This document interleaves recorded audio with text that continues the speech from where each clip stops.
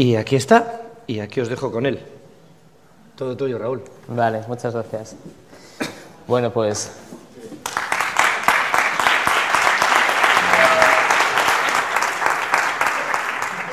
Bueno, gracias por, no sé si escucháis, yo creo que se escuche bien.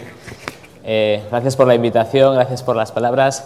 Bueno, yo ante todo no, soy ningún premio, soy un compañero como vosotros, eh, soy un profesor de aula que en determinado momento a la hora de diseñar con, con la ayuda del equipo directivo un plan de, integración TIC, un programa de innovación TIC, decidió apostar por una herramienta que creíamos que era una de las más ideales o la ideal. Entonces vengo a compartir desde mi modestia y desde lo que hacemos, pues el, planteamiento de cómo utilizamos los dispositivos y cómo estamos diseñando un proyecto, no un año, sino un proyecto a años, eh, que es cómo trabajar con los dispositivos Chromebook eh, y la tecnología de Google para crear entornos personales de aprendizaje. Claro, si estamos hablando de trabajo en equipo y veis que en, en el título de la presentación aparece el concepto de, aparece el concepto de entorno personal, pues podemos decir, aquí, aquí falla algo realmente, ¿no? Bueno, no realmente no, no es que, que falle, sino que lo que estamos buscando es trabajar en equipo, trabajar eh, en, de tú a tú, pero personalizar el aprendizaje. Eso es de la tecnología, bueno, intentas utilizar algo moderno y tocas el... se me ha ido. Si no utilizo el pasador.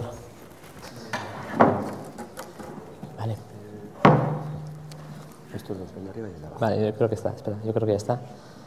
vamos así. Vale, sí, voy. Vale, bueno, pues nada. Eh, me presento.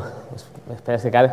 Eh, soy Raúl Diego y vengo de Salesiano Santander, de las afueras. Yo, como no llegué anoche porque estoy muy cerca, eh, no tengo ese dominio del euskera y para decirlo mal, Gonzalo ya ha dicho también que yo no voy a decir ni los buenos días ni, ni gracias por acogerme, porque creo que lo pronunciaría hasta mal. Pero bueno, que estoy muy cerca y, y que quiero mucho esta tierra, ¿vale? Eh, ha pasado directamente.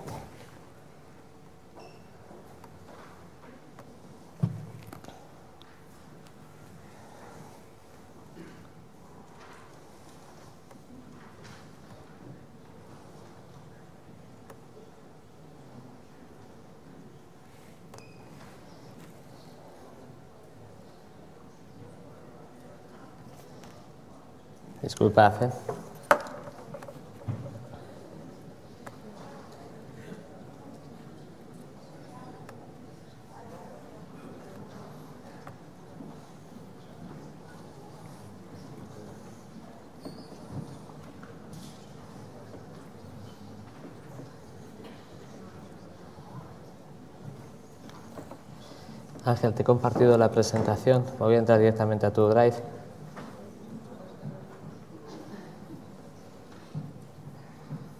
La compartí por si fallaba.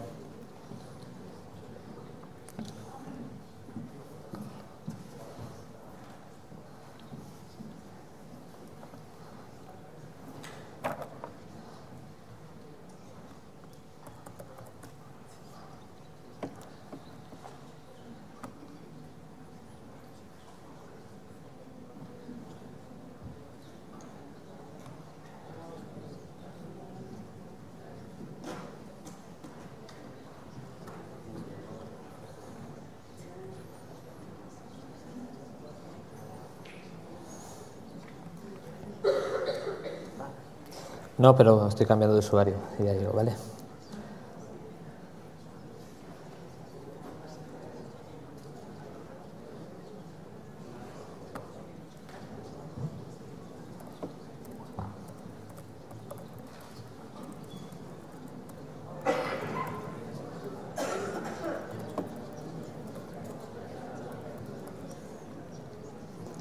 Cuando todo está aprobado. Cuando todo está aprobado.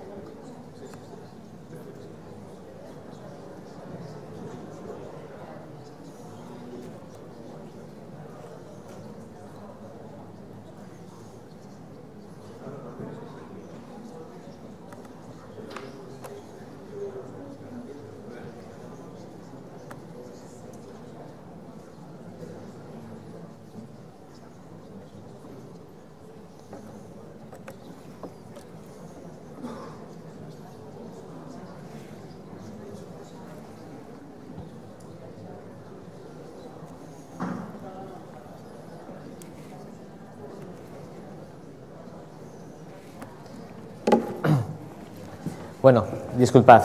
Eh, vengo de Salesiano Santander y en Salesianos incorporamos los Chromebook hace un par de años. Eh, cuando eh, integramos los dispositivos, lo que quisimos fue crear entornos de aprendizaje para los alumnos. Es decir, no una herramienta o un dispositivo que tuviese una serie de aplicaciones muy útiles en educación, sino que esa utilidad que tienen las aplicaciones fuese 100% eh, implementada en los niños, creando entornos de aprendizaje, tanto para los docentes como un entorno especial, como para los alumnos. Por lo tanto, antes de integrarlos, lo que hicimos fue un análisis perfecto, un análisis de lo que es la realidad de, cómo se estudia y se aprende hoy en día, para intentar implementarla en los dispositivos.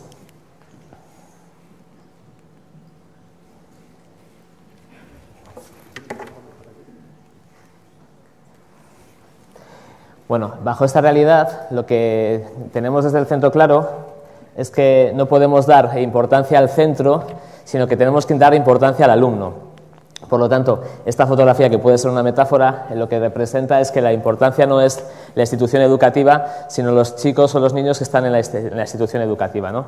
Por lo tanto, eh, vemos que eh, vivimos con jóvenes que han nacido en la sociedad del siglo XXI con tecnología y que miran a la tecnología, por lo tanto les tenemos que educar con la tecnología.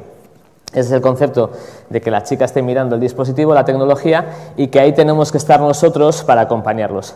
Porque una de las palabras más importantes que tenemos que tener en educación es acompañamiento. El profesor ya no es un transmisor de conocimientos, sino que es un serpa un guía o un acompañante en ese aprendizaje. Por lo tanto, lo que intentamos cuando creamos eh, un entorno de aprendizaje en los dispositivos Chromebook fue personalizar el aprendizaje y acompañarles desde esa, desde esa mirada. Bueno, nosotros en el centro eh, somos desde, desde, este año un centro PIE. Os explico qué es un centro PIE. Un centro PIE es un centro de, eh, un centro de, integración de la tecnología educativa, de la tecnología, eh, un centro de innovación educativa. la Consejería de Educación lo que ha hecho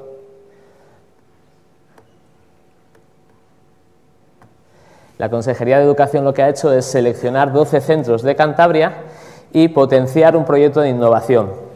El nuestro es el único eh, centro que trabaja con tecnología, los demás son de habilidades sociales, emociones, lectura, eh, y lo que nos está haciendo es un acompañamiento, porque nosotros presentamos un proyecto llamado Hemisferios, y de ahí la palabra y de ahí la simbología de esta pequeña imagen, en el que intentábamos combinar lo que es eh, los, dos, los dos grandes eh, ejes que creemos que son importantes para cambiar la escuela, que es la integración de la tecnología y la integración de determinadas nuevas metodologías más activas. Por lo tanto, esta imagen, que podría ser un lado no el lógico matemático y el creativo, sino el digital y el metodológico, es lo que intentamos integrar en nuestro proyecto educativo o nuestro proyecto de innovación.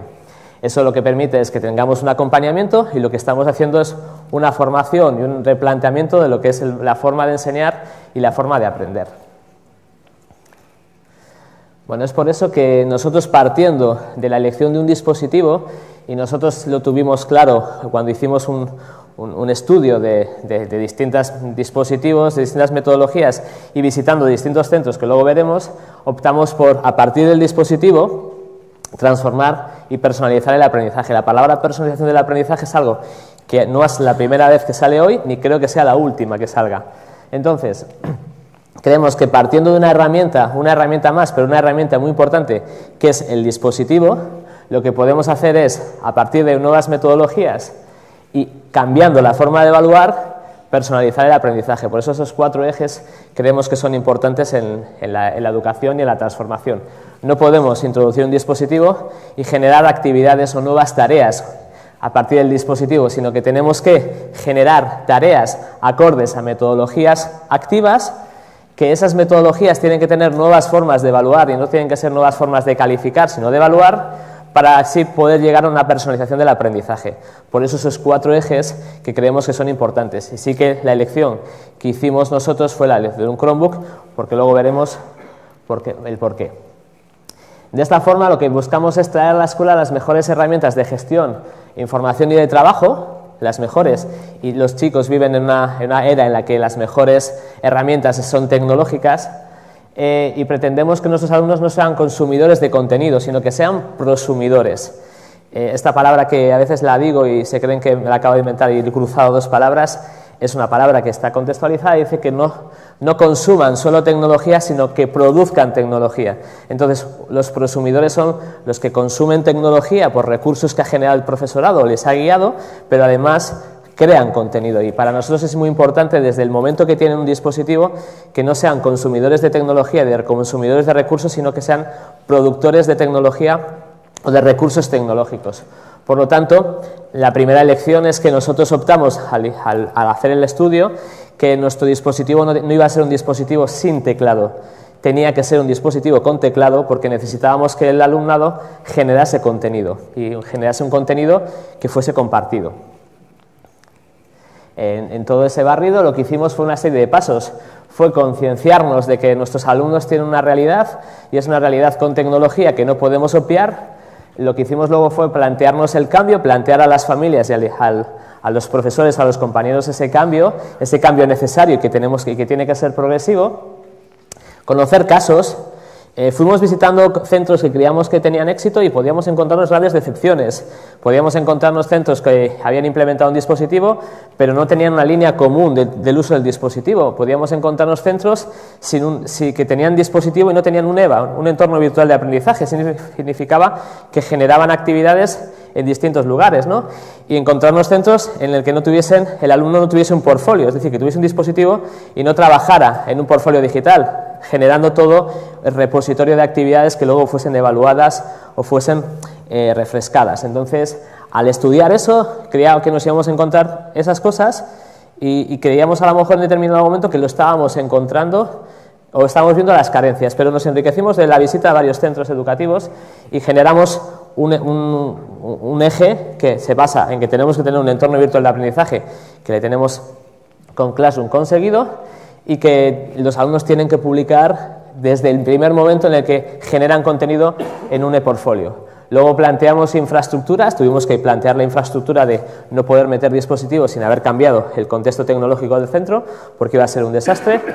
Eh, conocer los recursos que había en Internet y organizarlos, eh, concienciar a las familias de este cambio, este cambio que no era la introducción de un dispositivo, sino que entendemos, o yo entiendo, para mí un dispositivo es un dispositivo acompañado de un, par de cuadernos y un estuche, no de 200.000 libros, eh, pero un, par de cuadernos en la que extraigan la información y sea una herramienta de consulta, de síntesis, y luego tengo que sacar una realidad en formato papel, fue convencerles de que no tenían que visualizar a sus hijos con un dispositivo en la mano, debajo del, brazo yendo a clase, sino que se iba a combinar con recursos eh, escritos y, visualizados. ¿no?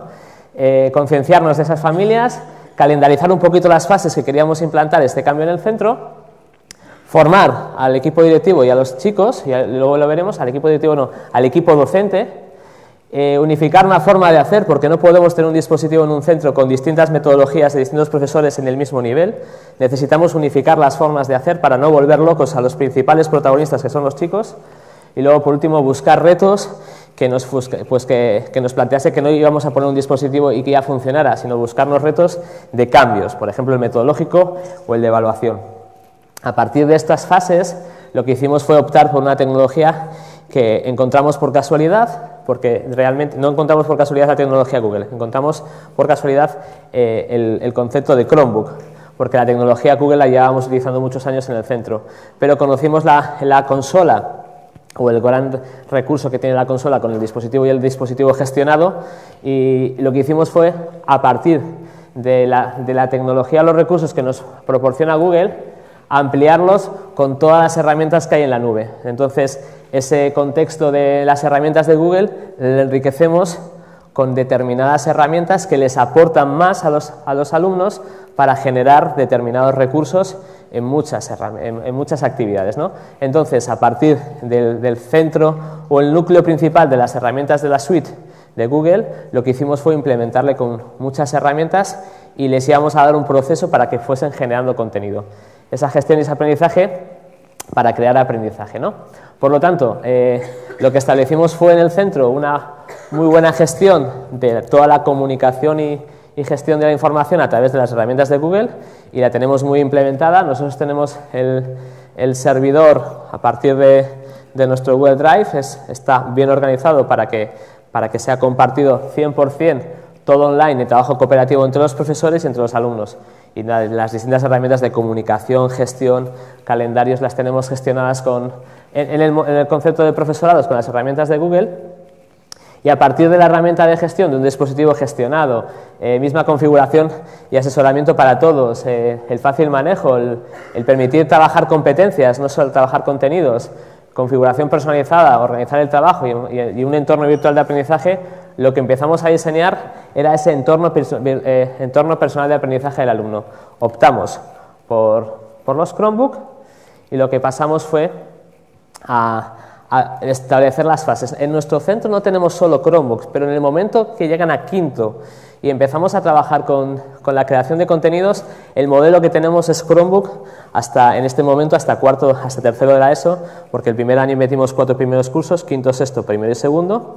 El año que viene, este año hemos metido tercero de la ESO, cuarto el año que viene y seguirá subiendo. Fijaros, os comento un poquito. Nosotros en infantil trabajamos con el modelo tablet. Tenemos una serie de tablets que se, se comparten para el trabajo de determinadas actividades, que es las actividades que intentamos implementar a los chicos de realidad aumentada, de grabación, de interacción con los con juegos, en el modelo infantil.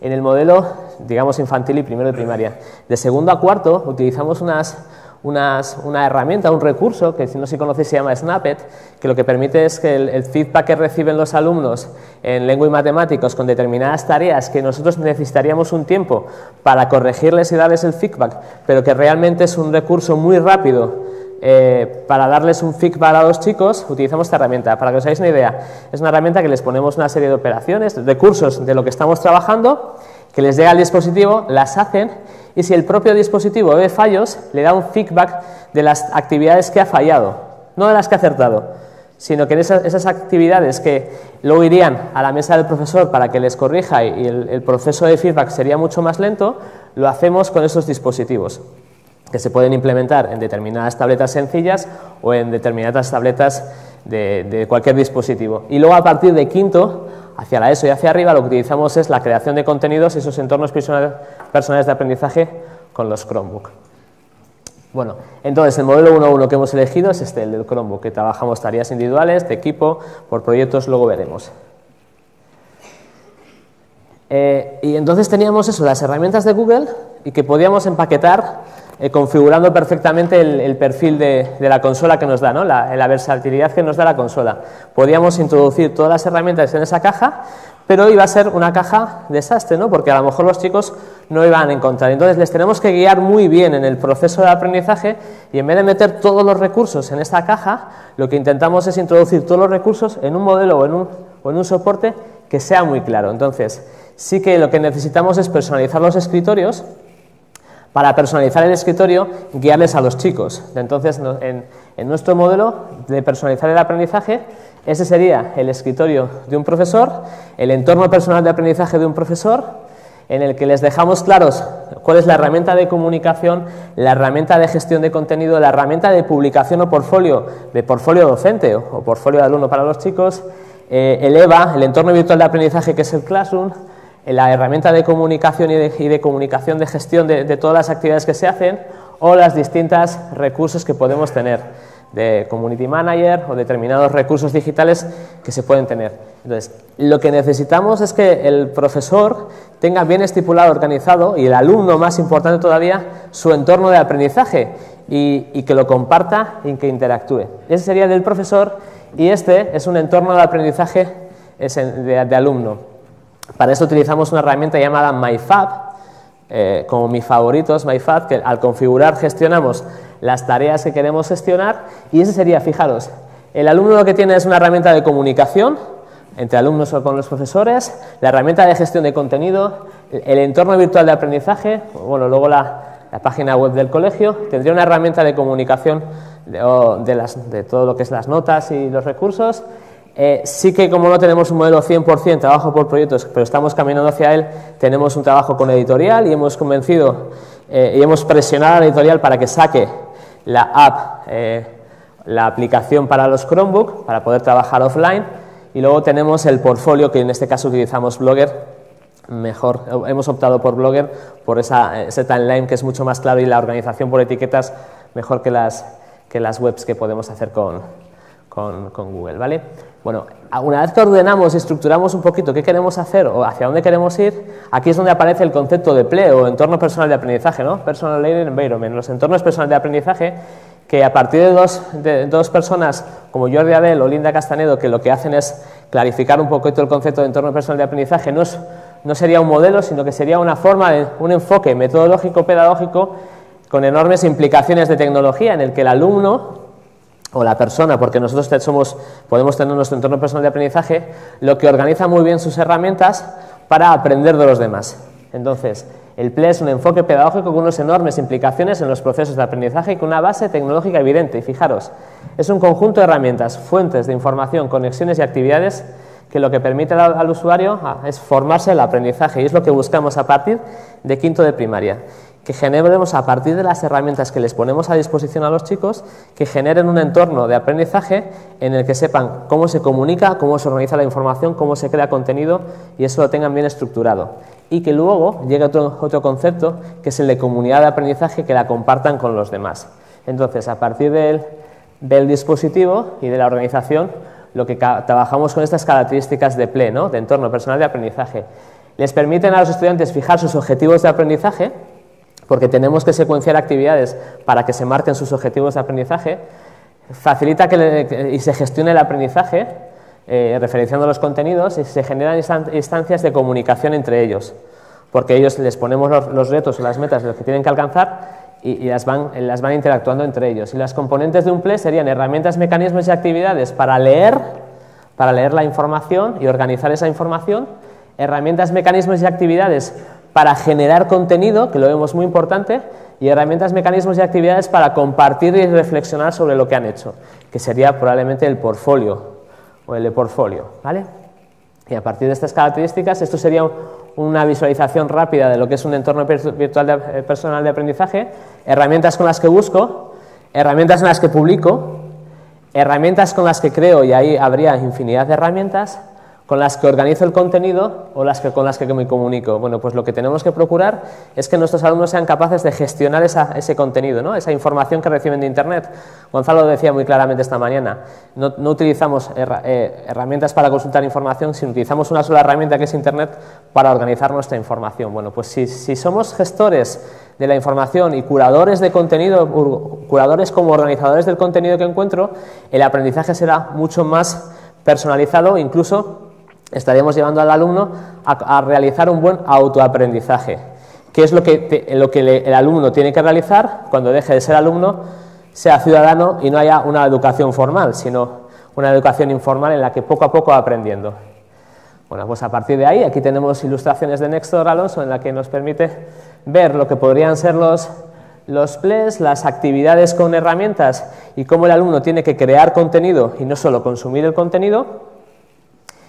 Y aquí lo que tenemos son ejemplos. Nosotros utilizamos eh, tareas, y digo tareas porque tienen un perfil cognitivo mucho mayor que las actividades, para, eh, para que los alumnos generen contenido a, través de las actividades o, las actividades de contenidos que realizamos. ¿no? Eh, creemos que los alumnos tienen que gestionar esa información y tanto en individual o en equipo tienen que saber generar contenido, ejes cronológicos, actividades interactivas. Entonces, eh, para eso tenemos una, una, cadena, una serie de herramientas a disposición que les hemos configurado el dispositivo y que tienen que saber gestionar. Cuando les lleguemos a, pedir una actividad, no les tenemos que decir con qué herramienta la tienen que hacer, porque ellos las habrán interiorizado. ¿no? Al igual que si les digo que tienen que hacer una presentación, no les voy a decir con qué tipo de herramienta. Ellos podrán conocer dos o tres herramientas y sabrán cuál es la más interesante para poder presentar el contenido. Aquí tenemos ejemplos de variedad de actividades que se les pueden formular pero toda tarea tiene que estar estructurada con una evaluación y una evaluación que, no, que sea para crecer, no para, no para eh, calificar con un número, es decir, una, una evaluación del siglo XXI y, y, para eso podemos tener las rúbricas. Fijaros, la primera columna corresponde al, a, la nueva, a, la nueva, ley. Sé que hay la tercera columna, los estándares de aprendizaje evaluables. No sé si en el País Vasco tenéis o están llegando ya. Eh, pero fijaros, ahí en la primera columna, desde el contenido, se busca luego unos criterios que relacionados con el contenido y ahí hay algo que para mí es muy claro y evidente y es lo mejor que tiene la última ley, que son los estándares de aprendizaje que nos están definiendo en forma práctica lo que tenemos que pedir al alumno, que es la, parte práctica, ¿vale? Fijaros, es el, el contenido que trabajamos, los criterios evaluables y la parte práctica. Pues a partir de eso tenemos que diseñar actividades pero no actividades del siglo pasado. Es decir, probablemente a nuestros compañeros les molestará que nuestros alumnos tarden 20 veces menos en realizar el trabajo, pero tardarán 20 veces menos y lo que les estoy pidiendo es lo mismo que nos pedían a nosotros. Yo recuerdo, y no soy muy mayor ni el abuelo cebolleta, cómo tenía que ir de biblioteca en biblioteca, en enciclopedia en enciclopedia, gastando mis 10 pesetas en hacer fotocopias para sacar información, llegar a casa, contrastarla y generar mi actividad. Los chicos son generación control C, control V, si les hacemos generación control C, control V. Pero si yo les, en vez de pedirles un trabajo escrito, les estoy pidiendo un podcast sobre los avances tecnológicos en el que les estoy pidiendo que analicen, que analicen cuáles son las aportaciones y los son los riesgos de ese avance tecnológico, yo lo que estaré consiguiendo es una, actividad significativa. Lo que pasa es que si le pedimos una investigación sobre un invento, me el invento, probablemente no quite, le da Wikipedia, lo corte, lo pegue y me lo está entregando. Pero es imposible que encuentren un podcast grabado con su voz en el que estemos analizando en menos de dos minutos cuál es desde el origen y la evolución del invento, cuáles son las aportaciones que nos dio y cuáles son los riesgos que tiene ese invento. Y para eso, antes de realizar la tarea, tenemos que proporcionar a nuestros alumnos una rúbrica de evaluación en la que les estemos diciendo cómo lo van a hacer bien.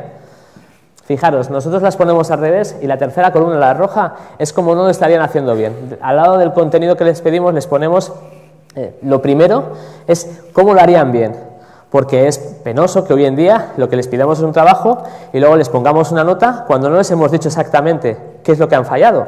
Y las rúbricas de evaluación es una gran herramienta para saber, para que antes de empezar el alumno ya sepa cómo lo puede hacer bien y qué le estamos pidiendo. Por lo tanto, todas esas tareas que les os estoy comentando que les pedimos tienen una fundamentación desde los objetivos de la ley, que son prácticas, pasando por una rúbrica de evaluación y un producto final. Esa es una actividad sencilla de una semana en la que al final se genera un museo virtual sobre los inventos, cada uno sobre ello, incluso ha sido presentada con una rutina, una rutina de pensamiento. ¿no? Aquí tenéis un poquito eh, la consola que hemos generado de las distintas aplicaciones que complementan la suite principal de educación, porque hay herramientas muy específicas para geolocalizar y utilizamos las Google Maps, perfecta. Que tenemos, necesitamos otras herramientas para curar contenido, para generar puzzles, para, para gamificar el aprendizaje y esa sería, digamos, la consola de herramientas básica que buscamos que los alumnos entre quinto y sexto de primaria tengan la competencia para que luego simplemente tengan que utilizarla. Esas serían las herramientas que hemos seleccionado para hacer cómics, líneas del tiempo, póster interactivos, creación de contenidos y que les explicamos en un par de años para que esté ese proceso. ¿no? En ese proceso lo que utilizamos es el concepto de gamificación, por lo tanto, eh, hemos utilizado una hora de la semana para en quinto y en sexto utilizar, eh, eh, crearles, explicarles determinadas herramientas que posteriormente van a controlar a la perfección y lo hacemos con gamificación, con, logros, ¿no? con insignias. Fijaros, eh, esas insignias tienen unos colores especiales porque van en relación a tres grandes pilares de los cinco pilares que el borrador o el marco europeo, el marco que tiene el Ministerio de Educación sobre la competencia digital docente, se ha creado. ¿no? Bueno, eh, hay dos, dos, ámbitos, que es el de resolución de problemas y, y el otro que se me acaba de ir, resolución de... Ya volverá eso. Eh, los tres principales son comunicación, información y creación de contenido. El cuarto es resolución de problemas y el último se me ha olvidado, pero ya volverá. Fijaros, los colores que están ahí van en relación a, eh, una competencia. Los verdes son de, de, información, los, azules son, los, los verdes son de, de información, los azules son de comunicación, los rojos son de creación de contenidos y luego hay específicos que veis que son los morados que son de control del dispositivo. Cuando les pedimos, cuando les enseñamos una herramienta, les pedimos una actividad gamificada, una actividad muy cercana para ellos, en la que no están todavía creando una actividad curricular, pero están creando a partir de sus intereses actividades de ejes cronológicos, creando un eje cronológico de su vida, algo más cercano y significativo para ellos. Y en el momento que les presentamos la, actividad les evaluamos una rúbrica y consiguen realizar eso, se les acredita con, un, con, una insignia que contiene metadatos. Los metadatos eh, son los descriptores que hay por detrás de la imagen que dicen cuál es la competencia que han adquirido. Y entonces estamos creando una pequeña mochila digital, creando a la vez su competencia digital. La docente no, la de los alumnos, que es mucho más importante. Es más importante que ellos tengan. Entonces, a partir de eso, lo que creamos es una serie de actividades que presentan y, organizada, y organizado con las asignaturas, les presentan las herramientas antes de que sean creadas. Es decir, que yo les puedo presentar una herramienta de geolocalización pidiéndole los tres lugares donde les gustaría visitar en, en el planeta con Google Maps antes de que el profesor de Ciencias Sociales la semana que viene les pida que organicen los principales accidentes geográficos de Europa. De tal forma que lo que hacemos es un proceso en el que les vamos, a partir, a partir de la gamificación del aprendizaje, dándoles herramientas para crear ese entorno personal de aprendizaje que les vaya a hacer crecer. Eso es lo que buscamos con estas actividades. También, paralelamente, generamos una formación interna a los profesores para crear su, también su, paralelamente su competencia digital docente, porque es la primera generación en la historia de la humanidad que probablemente nuestros hijos o alumnos sepan más que, nosotros en determinadas cosas, ¿no? Entonces sabemos que en competencia digital probablemente los alumnos vayan por delante, pero hay que ir eh, creando esa competencia digital de los profesores. En este caso lo hacemos con una metodología Flip Classroom. Yo las explicaciones las doy por medio de vídeos que quedan en una plataforma en entorno virtual de aprendizaje, que los propios compañeros me tienen que dejar una su evidencia y ya se la tengo que pasar, y que si en determinado momento entra o se incorpora nuevo al centro otro compañero, él a través de los vídeos y de las tareas puede adquirir la competencia, pero han quedado grabadas y, generadas en ese entorno virtual de aprendizaje para que la formación se realice hoy o se realice dentro de tres años, porque la competencia, porque no podemos estar reformando, reformulando a constantes, constantemente a los compañeros cada vez que entra uno nuevo, porque te van a decir, es que ya lo hemos dado, ¿no? Pues lo hemos visto con una metodología Flip Classroom en la que les decimos las explicaciones, les pegamos las tareas, pero quedan grabadas en nuestra plataforma. Esta es la forma en la que organizamos los recursos, tanto de asignaturas como de blogs, como de las distintas etapas, porque creemos que tenemos que guiarles para que ellos se generen sus propios, esa es una herramienta llamada Simbalú, sus propios gestores de contenido, les tenemos que orientar con los nuestros, ¿no? Y sobre todo, sobre todo es importante que los alumnos tengan un portfolio o un e-portfolio, un lugar donde dejen sus evidencias de aprendizaje, porque otra herramienta de evaluación son los portfolios y los diarios de aprendizaje, y los tienen que hacer o evidenciar en sus, en sus portfolios. Eso sería la comunidad de aprendizaje de mi aula. Aquí están los portfolios de los 26 chicos que tengo en el aula, y lo que hacen es, cada uno va gestionando sus tareas y las va publicando en su blog, y los demás van aprendiendo de las tareas de los demás. Es decir, que cuando esta es una herramienta llamada Simbaloo, cuando llegan a la pizarra, golpean su imagen, aparece su blog y presentan su última incorporación en su blog, que es su última tarea, ¿no? Cuando su compañero lo que hace es ver lo bueno y lo malo que ha hecho, visita su portfolio para aprender unos de otros. Eso sería la comunidad de aprendizaje.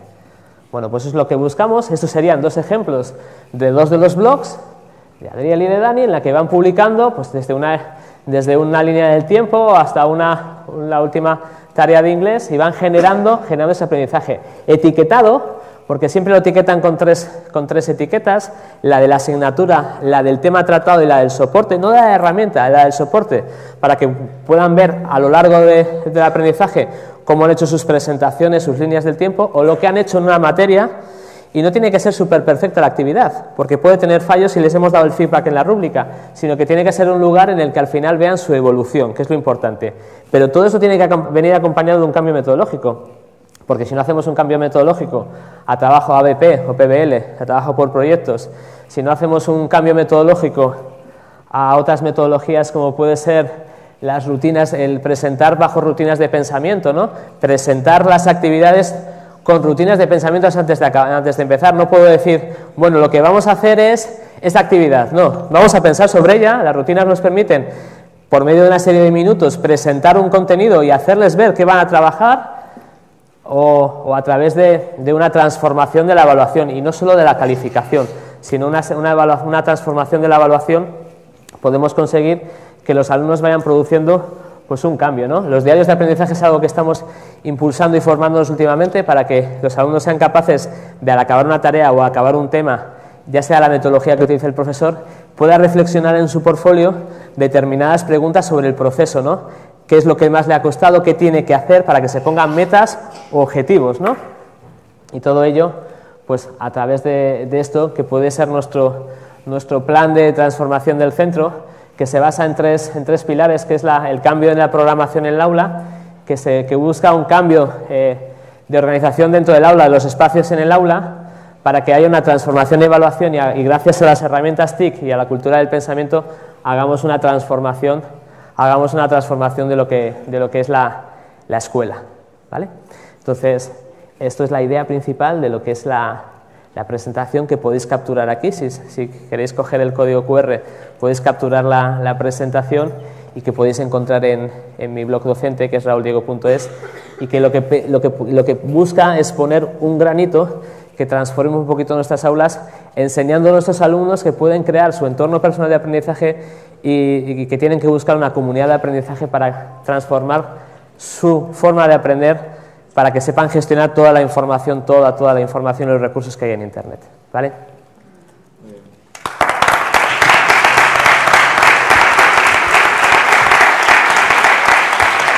Fantástico, Raúl. Y encima